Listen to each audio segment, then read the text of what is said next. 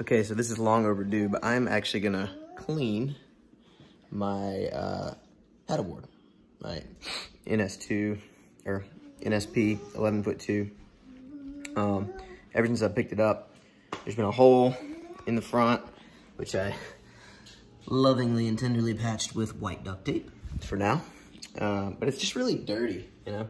It doesn't really affect the way it serves and stuff, but a lot of dirt on it. So I'm gonna clean it up, get this thing looking spick and span, and then uh, maybe I'll do a review video at some point in the future. But got some extra time today. Gonna go to town with a washcloth, and I'll be able to see where any other spots are once the dirt is all off. So hopefully this uh, thing will actually get clean.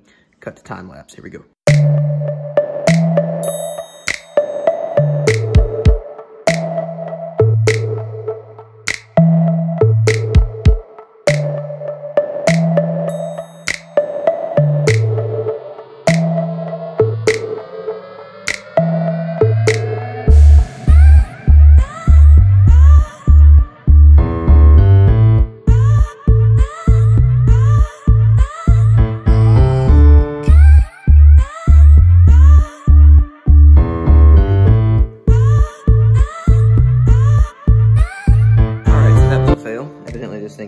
Be cleaned.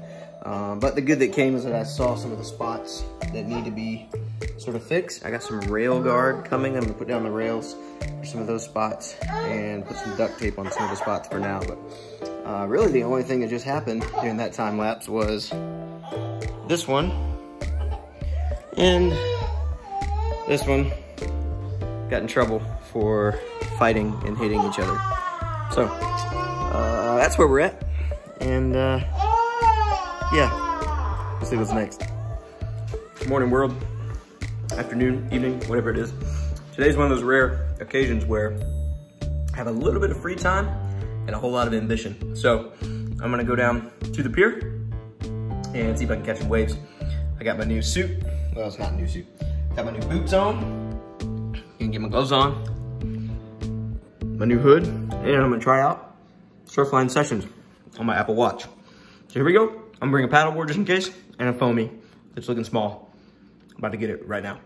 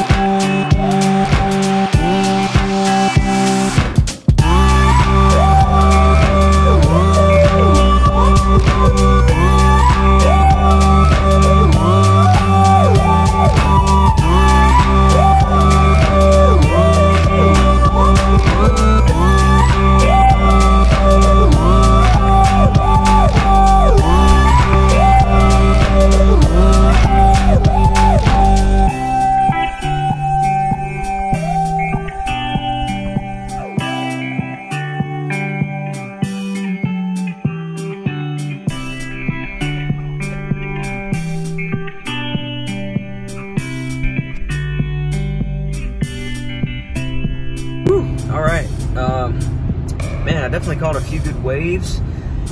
Overall, it wasn't the greatest day, but there were some guys out there on surfboards catching waves. Um, kind of made me wish I would have just gone out on my surfboard instead of the paddleboard.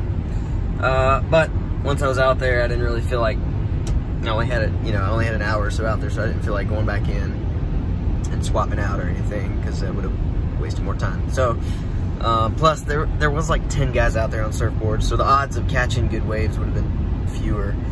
Um, yeah, so I'm on my way back. I gotta pick up the kids, and then um, I'm gonna check out some of the waves on Surfline sessions and see what came out of it. So stay tuned for that. Here we go.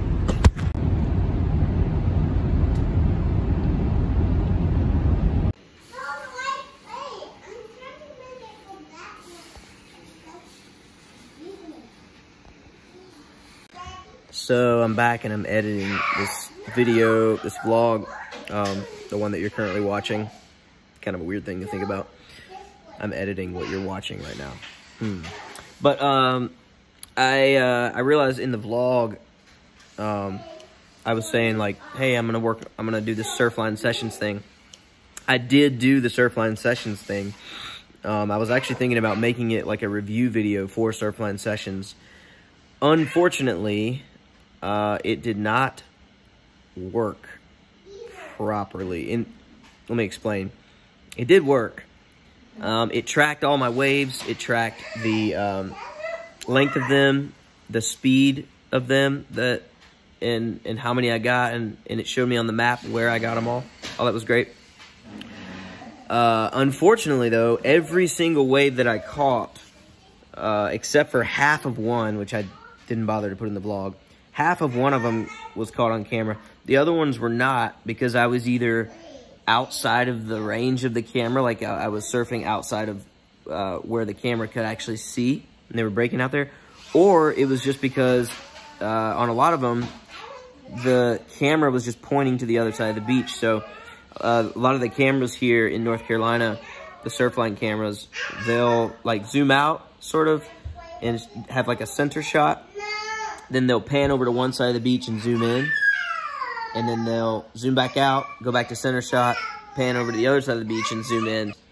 And unfortunately, every single wave I caught was either when the camera was panned to the other side of the beach or panned center to where you couldn't see anything but the pier. Or uh, in, in one case, um, or in a lot of cases, I was just outside of the view of the camera's reach, even if it was panned on the right-hand side. So, um, not not a huge success for the Surfline camera thing, um, but I will try it next time. Uh, next time I go and see if see if I can have any better luck. When I have some luck, I want to review it and do a review video because I haven't actually seen any review videos out there of Surfline sessions yet. Uh, I'm probably going to review this strap too, which is the the Urban Armor gear um, strap that they say you're supposed to use. Um, quick quick review right here. It worked great. It didn't break and uh, the Apple Watch is indeed waterproof, at least for one session. So there we go.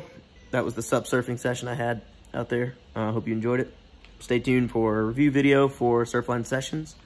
And um, also, next time, I'm probably to regular surf.